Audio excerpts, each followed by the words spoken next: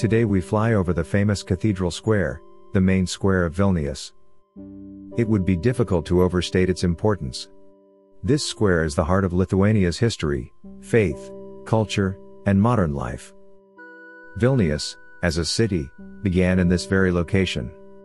The legend says that Grand Duke Gediminas slept here, dreaming of an iron wolf. His seer interpreted his dream as a command to build a world famous city here, and so Gediminas established Vilnius as the new capital of Lithuania. Appropriately, Cathedral Square now has this sculpture of Gediminas, with an iron wolf standing right beside him. The history of Vilnius has been extremely eventful, and every single century has left its major traces on the cathedral square, arguably more so than in most other historic central squares of Europe. For example, the cathedral belfry itself actually consists of several distinct parts. The upper part which you can see now is ornate, as it was initiated during the peaceful period when the Baroque architecture of Vilnius had few equals in the entire region. The lower part of the belfry, however, is nothing else but an original 13th century medieval defense tower. These days, its entrance is among the most popular meeting spots in Vilnius. Back in medieval days, what is now the Cathedral Square area, used to be a heavily fortified lower castle of Vilnius. The darker line on the tiles of the square that you can see now, actually marks the very location where the mighty defensive wall once stood.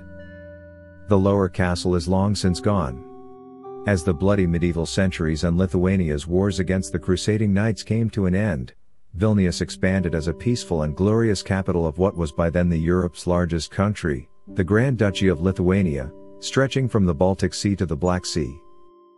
That massive Grand Duchy was also ruled from this very square. The Grand Duke's palace that stands in here today, however, counterintuitively, is the newest addition to the Cathedral Square, having been completed only in 2018. That's because the original palace had been demolished by Russian Empire after it had conquered Lithuania in 1795, symbolizing the tragic end of Lithuania's role as a great power. After 1990, newly independent Lithuania looked back into its history to celebrate its lost glories. What better way to do it than by rebuilding its primate seat of power? The mightiest castle of Vilnius, known as the Upper Castle, or Gediminas Castle, however, survived through the centuries. Its iconic red brick tower still rises above the cathedral square and beyond. Its modern symbolic value likely surpasses whatever defensive value it ever had.